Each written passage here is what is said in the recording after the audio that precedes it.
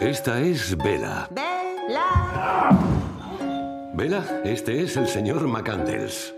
Hola, Veda. ¡Oh! Es un experimento. Buenas noches. Su cerebro y su cuerpo no están del todo sincronizados.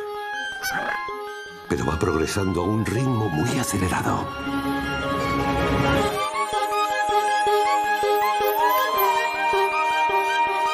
Dígame, ¿de dónde ha salido? Te lo diré.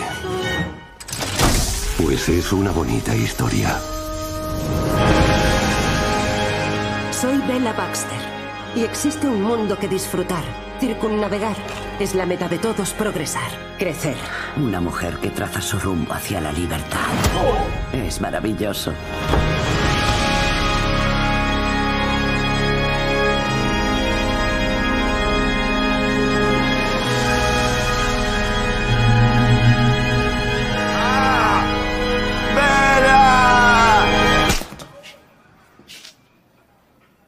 Au!